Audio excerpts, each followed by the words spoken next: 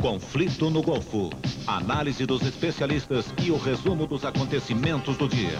Apresentação do jornalista Alberto Helena Júnior. Hoje, logo após Dinheiro Vivo. Gazeta, a televisão de São Paulo.